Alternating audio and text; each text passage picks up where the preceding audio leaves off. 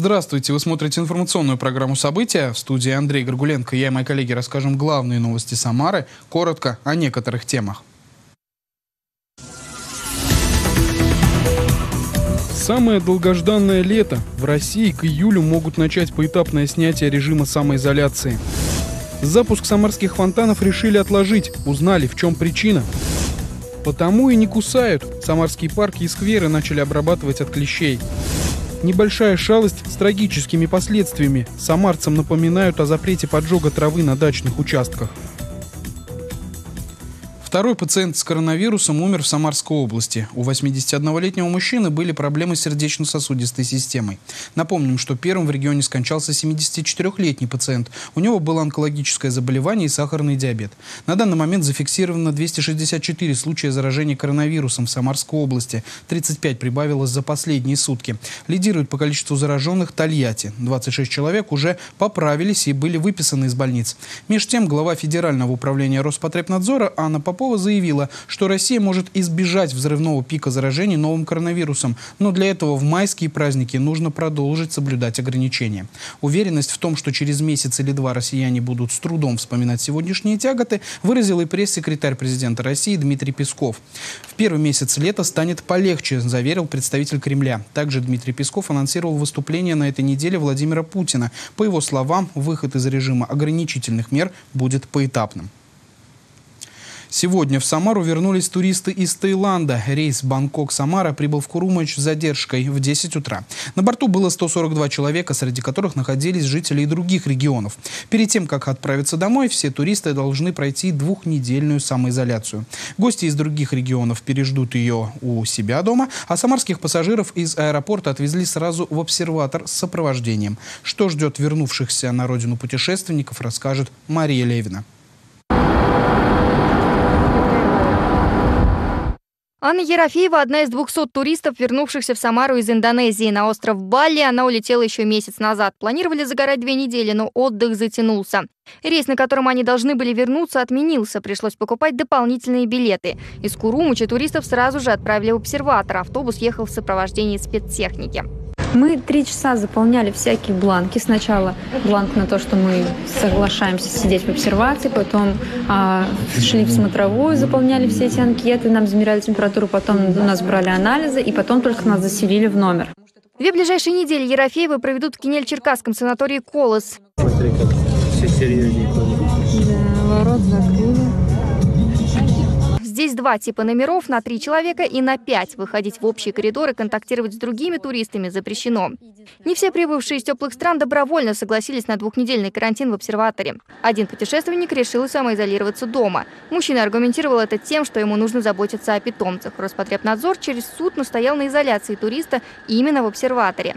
За последние дни в России совершили посадку еще два самолета с самарцами на борту. 22 и 23 апреля туристы прибыли из Индии. Вернуться на родину можно и чартерами, если кошелек позволяет. Первый рейс в Самару из Бостона должен был состояться в середине апреля. Перелет стоит 100 тысяч евро. Это сумма на 12-16 пассажиров, но желающих выложить столь круглую сумму не нашлось, и чартер отменился. На Земле стоят практически 90% всех самолетов. Количество вылетов сократилось в 10 раз. Это, безусловно, влияет на цены, это, безусловно, влияет на желание э, авиакомпаний делать определенные перелеты по определенным направлениям. Э, сейчас, безусловно, становится рынок э, авиационных компаний, тех э, смелых авиакомпаний, которым, которые научились бороться с ситуациями ковида и научились проходить досмотры, получать разрешения, проводить санобработку. Эвакуационная авиация – это убыточный бизнес, говорят предприниматели. Для того, чтобы оправдать расходы, необходимо набрать полный борт туристов, а в нынешних условиях немногие идут на риск лететь в небольшом салоне, где сложно соблюдать дистанцию. Сейчас переговоры ведутся с туристами, кратающими будни на Мальдивских и Сейшельских островах. По возвращении на родину их также ждет двухнедельная изоляция. Мария Левина, События. В Самарской области развернуто почти две с половиной тысячи коек для больных коронавирусом. Об этом рассказали на заседании регионального оперативного штаба. Как сообщает областное правительство, это больше норматива, установленного федеральными властями. Для Самарской области он составляет 2168 коек. Работа по созданию необходимого коечного фонда шла под постоянным контролем губернатора Дмитрия Азарова. Благодаря личному вниманию и участию главы региона в этой работе Самарская область перевыполнила план. В общей сложности в лечебных учреждениях Самарской области создано 2368 коек для пациентов с COVID-19. Из них 923 с подачей кислорода, 758 с аппаратами ИВЛ. В ходе заседания штаба главврачи всех больниц Самарской области, готовых к приему больных с COVID-19, отчитались о создании коечного фонда. Эта работа в больницах региона будет продолжена. Работа каждого из вас крайне важна э, в этой борьбе по противодействию угрозы распространению коронавирусной инфекции. Еще раз хочу вас поблагодарить за проделанную работу. Э, рассчитываю, что этот режим повышенной готовности в полной мере будет действовать во всех медицинских учреждениях. Тем не менее, для врачей сейчас любая помощь будет полезной. Благотворители передали больнице имени Середавина новое оборудование на общую сумму в 3 миллиона рублей. Это кислородные концентраты, мониторы и хирургические аспираторы. Подробнее в сюжете Елены Малютиной. В областной больнице имени Середавина ведется масштабная подготовка к потоку пациентов с коронавирусной инфекцией. Около двух месяцев медучреждения оснащают оборудованием по правительственным программам, но помощь лишней не будет. Меценаты закупили оборудование на 3 миллиона рублей. 10 мониторов для слежения пациентов, 10 перфузоров, то есть систем доставки лекарственных препаратов, 10 хирургических аспираторов и 2 кислородных концентратора. Эта техника, она востребована и сейчас, и в будущем будет, разумеется. А, в больнице существует такое оборудование. Подобный э, вклад, он, разумеется, отчасти обновит и усилит позиции больницы. И, соответственно, также будет ежедневно применяться в лечении пациентов. Главный корпус больницы имени Середавина полностью перепрофилировали под госпиталь для лечения пациентов с новой коронавирусной инфекцией. Часть подразделений уже работают в этом режиме, например, отделение реанимации. Для инфекционных больных более легкого профиля – терапевтические отделения. Подготовлены и палаты общего профиля первично-сосудистого отделения, оснащенные аппаратами ИВЛ. Оборудуют еще 36 коек искусственной вентиляции легких. Всего в больнице сейчас оснащено 650 коек для больных коронавирусной инфекцией. При необходимости количество мест могут увеличивать в полтора раза. Все э, сотрудники подразделения прошли дополнительное обучение на кафедре инфекционных болезней Самарского государственного медицинского института и прошли итоговое тестирование. Наше подразделение э, в настоящий момент законсервировано, и мы находимся в режиме ожидания, э, готовимся к приему пациентов. Э, также в настоящий момент развернуто 36 мест Главврач больницы Армен Бинян вручил меценатам благодарственные письма от коллектива лечебного учреждения за оказанную помощь. Елена Малютина. События.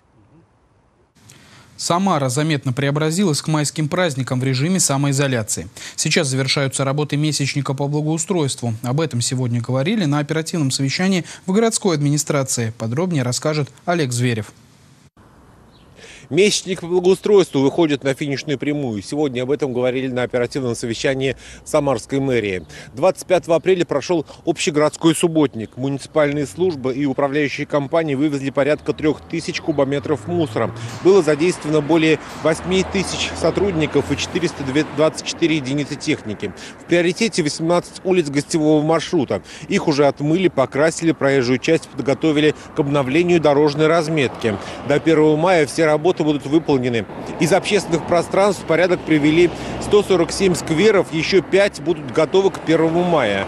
Город действительно стал выглядеть намного лучше. Вот только сезон фонтанов пока откладывается. Несмотря на то, что гидротехнические сооружения города выдержали испытания и пробные пуски, их решено не включать. Возле фонтанов обычно собираются много людей, что в условиях самоизоляции и социального дистанцирования нежелательно. На фонтаны, то есть они готовы по линии. Как команда пройдет, так будем включать. Это будет центром притяжения. Как только включим, там ну, начнет собираться народ, тем более на первомайские праздники. Я полагаю, этого делать не надо. Вот скажете, через два часа они все заработают. Но еще раз говорю, мое мнение, предложение не включать. По набережным и паркам работы практически завершены. Проводится демонтаж и замена разрушенной тротуарной плитки. До майских праздников нужно успеть разбить цветники. Всего в городе планируется высадить 7,5 тысяч квадратных метров цветущих газонов. Посадку планировали начать 25 апреля, но из-за неустойчивой погоды пришлось отложить. С сегодняшнего дня приступаем с 27 и до 1 мая мы планируем высадить 7,5 тысяч квадратных метров э, цветников. По сравнению с 2019 годом, в 2019 мы 4,5 сажали. То есть это порядка 5 тысяч э, сделает э, зеленхоз на гостевых маршрутов и остальные 2,5 парки и набережные. Обозначена также задача очистить остановки общественного транспорта и столбы электропередачи от наклеенных объявлений. Для этого Горсвет и ТТУ ежедневно привлекают несколько бригад рабочих. На остановочных павильонах началась еще и подготовка к размещению логотипов к 75-летию Победы. Глава Самары Елена Лапушкина обратила внимание на то, что все работы должны проводиться без привлечения горожан и с соблюдением противоэпидемических требований. Обратите внимание на детские площадки и общественные территории по ограждению сигнальными лентами и объявления. Необходимо напоминать горожанам, что стратегически важные задачи не допустить распространения инфекции, а как только карантин будет снят, город войдет в свой привычный ритм жизни. Олег Зверев, Константин Головин, Василий Колдашов, Александр Захаров, Леонид Блинов. События. От борта до борта проезжую часть на улице Карбышева между Гагарина и Мариса Тереза провели в порядок. Все благодаря нацпроекту «Безопасные и качественные автомобильные дороги», а также проекту «Улица Победы», который нацелен на обновление знаковых дорожных объектов Самары. Здесь на участке протяженностью 360 метров произвели ремонт большими картами. Всего в этом году по такому методу приведут в порядок 42 участка общей протяженностью 33 километра.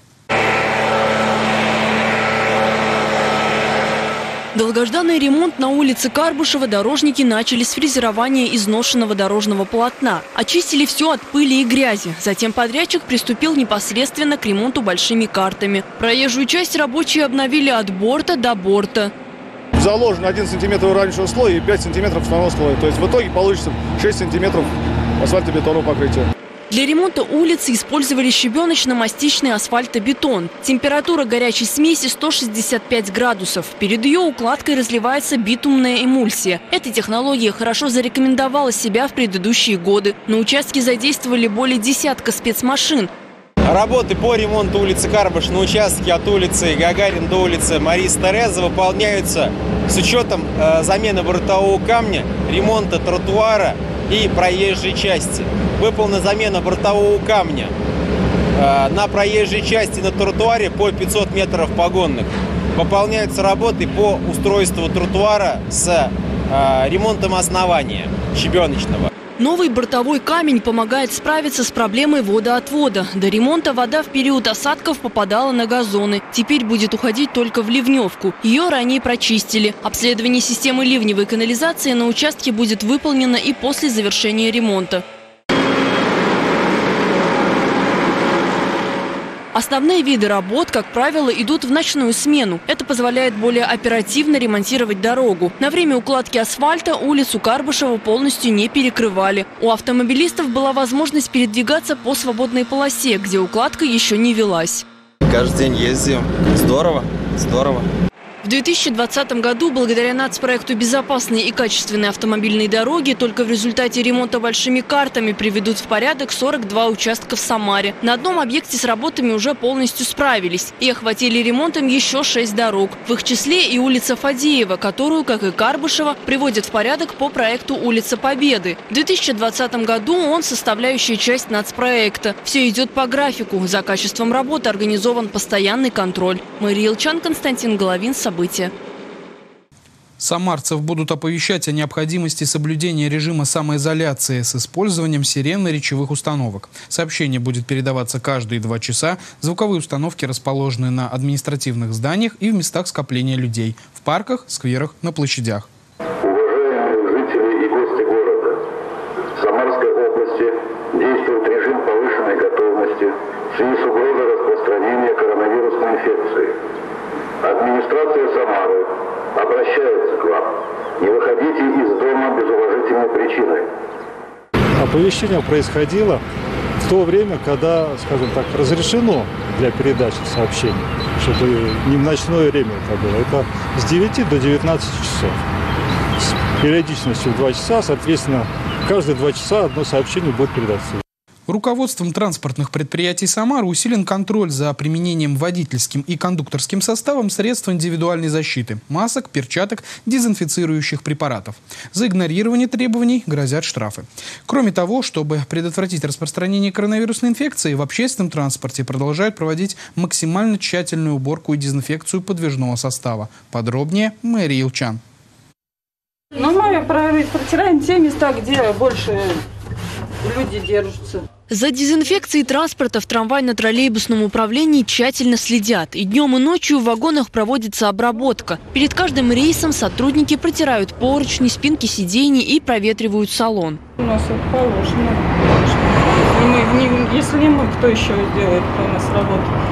Пассажиропоток в транспорте значительно уменьшился. Как рассказывают сотрудники, сейчас билетов продают в 4 раза меньше. В две смены ежедневно в ТТУ трудится порядка 600 водителей и 700 кондукторов. Все они полностью укомплектованы средствами индивидуальной защиты. Ранее только муниципальное предприятие ТТУ закупило свыше 5000 одноразовых и многоразовых масок. Ожидается еще одна партия в количестве более 3000 штук. Также распределили почти 11 тысяч пар перчаток. За использованием всего этого во время рейсов усилен контроль, прежде всего по руководством предприятий общественного транспорта. Сотрудникам, забывшим надеть маску, грозит штраф до 30 тысяч рублей.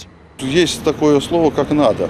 Значит, э, положено одевать средства защиты в такие вот э, времена, поэтому люди у нас относятся к этому с пониманием и, э, соответственно, исполняют все эти предписания. Очень просим наших любимых пассажиров также соблюдать соблюдать самозащиту, пользуйтесь средствами индивидуальной защиты, одевайте маски, одевайте перчатки те, кому необходимо выходить из дома. А лучше будьте дома, берегите себя и берегите окружающих. Все это вообще-то обязательно надо носить так. Для своей же безопасности, для своего здоровья, также для, для того, чтобы не было распространения болезни. Чтобы не заразить людей. Со всеми сотрудниками ТТУ ежедневно проводится инструктаж, а перед началом смены они проходят медицинский осмотр. Те, у кого есть признаки ОРВИ, к работе не допускаются. Мария Илчан, Николай Сидоров. События. Волонтеры акции «Мы вместе» сдали кровь. Областные станции переливания крови испытывают дефицит. Такая ситуация сложилась из-за особого режима, в котором сейчас живет регион. Мобильная станция переливания крови принимала энтузиастов в строго назначенное время. Слово Елене Малютиной. Сдав кровь один раз, можно спасти три жизни. Процедура длится всего 5-7 минут. За это время донор сдает 450 мл крови, плюс три вот такие пробирки для дальнейшего исследования в лабораторных условиях на инфекции. Волонтер акции «Мы вместе» Анастасия Шипилова сдает кровь впервые. Говорит, приятно понимать, что может спасти чью-то жизнь. Я буду рада, если я кому-то помогу. Но самое главное не смотреть на этот процесс и все. Мне надо туда пройти. Голова мне кружилась. Надеюсь, что кому-то помогу. Пополнили запасы станции около 40 волонтеров акции «Мы вместе». Сдать кровь может любой здоровый человек, но есть лимит. Женщины 4 раза в год, мужчины 5. За два дня до процедуры нужно отказаться от употребления алкоголя и тяжелой жирной пищи. В день процедуры нужно позавтракать и обязательно взять с собой паспорт. Мы рады любому количеству, потому что доноры, донорская кровь, она бесценна. И особенно сейчас, когда непростая все-таки ситуация, мы ждем всех. В Самарской области проводят около 300 переливаний компонентов крови в сутки. Подробную информацию, как стать донором, можно посмотреть на сайте службы крови, указанном на экране. Записаться на сдачу крови можно, отправив заявку на почту, которая указана на экране. Елена Малютина, Николай Епифанов. События. Несмотря на режим самоизоляции, городские парки и скверы начинают готовить к летнему сезону. Специалисты приступили к обработке территорий от клещей. За работами в парке «Родина» наблюдала наша съемочная группа. От профессиональных дезинсекторов не скроется ни один уголок парка. С помощью специального оборудования химраствором для людей и животных он безвреден уже через сутки после распыления, покрывают все участки газона, чтобы после окончания особого режима самарцы смогли гулять в парках, не опасаясь клещей. Особенно в весенний период сейчас все клещи, если они есть, они находятся в лесной подстилке. И поэтому мы обрабатываем подстилку. Не деревья, как многие думают, а именно лесную подстилку. Потому что клещ, в принципе, при нормальной даже э, ситуации, при нормальных условиях развития, он выше 25 сантиметров не залазит по высоте. В этом году от клещей в Самаре обработают порядка 90 гектаров. В плане 152 объекта. Это парки, скверы, бульвары, набережные, транспортные развязки. Даже если изначально клещей не было, профилактическая обработка все равно нужна. Территории обследуют до и после работ. Повторная проверка проводится через неделю после обработки. Хороший результат – не более одного клеща на 2 километра. После обработки непосредственно проходит определенное время и делается еще контроль качества, то есть повторное инсектицидное обработ... обследование. В случае, если будет обнаружен еще раз клещи, то повторная будет обработка в обязательном порядке. Полностью завершить обработку планируется до середины мая. В городе идет борьба и с грызунами. Первую обработку уже провели, следующая запланирована на осень. Лариса Шлафас, Николай Сидоров. События. МЧС предупреждает, поджог травы на дачных участках опасен. Сотрудники ведомства провели профилактическую работу в Куйбышевском районе Самары. Для того, чтобы правила пожарной безопасности лучше запомнились и соблюдались постоянно, сотрудники МЧС вручили дачникам памятки. В рейд отправилась и Мария Илчан. Регулярно сотрудники МЧС обходят владельцев дач и вручают им вот такие памятки. Ведь попытки сжечь садовый мусор и сухую траву на своем участке могут привести к серьезным последствиям. Причина большинства случаев возгораний – халатное обращение людей с огнем. В Кляжском массиве за тем, чтобы дачники соблюдали пожарную безопасность, уже 7 лет следит Алексей Алехин. Каждый день я здесь с 8 часов, и, ну, в основном это по... Э, меня можно найти по телефону, э, все знают мой контактный телефон. Такие рейды нужны, и, как, как говорится, э, они бы для профилактики, ну, везде надо их проводить. В дачном массиве для ликвидации огня в случае пожара есть все необходимое. Здесь установлены гидранты для заправки пожарных машин и есть наполненная водой емкость. Дачники – люди сознательные, придерживаются правил. Мы все чистенько, все убираемся, все сжигаем где надо. У нас вон там емкость есть большая, мы там сжигаем. С 8 апреля в Самарской области ввели особый противопожарный режим, согласно которому запрещено разводить открытый огонь, а именно сжигать мусор и сухую растительность. При сильных порывах ветра распространение огня происходит молниеносно. Вместе с травой может загореться все, что находится рядом. За нарушение требований пожарной безопасности предусмотрен административный штраф. На граждан он составляет от 2 до 4 тысяч рублей. На территории Самарской области проводят сотрудниками рейды. За данное нарушение требований пожарной безопасности э, э, составлены административные протоколы. В количестве вот, на города Самара составлен 31 протокол сжигания мусора. С начала схода снега на территории города Самара произошло 15 загорания пожаров сухой растительности. Помимо природных пожаров возникают и техногенные. Например, при использовании нагревательных приборов. Температура на улице колеблется, и люди, чтобы согреться, включают неисправные электроотопители. Только за прошедшие двое суток в частном секторе Куйбышевского района произошло два пожара. Погибших нет, причины возгораний устанавливаются. Мария Илчан, Николай Епифанов. События. На этом наш выпуск завершен. Мы рады вам сообщить, что число просмотров нашей программы на YouTube превысило 24 миллиона. Подписывайтесь на наш телеграм-канал. Оставайтесь дома и будьте здоровы.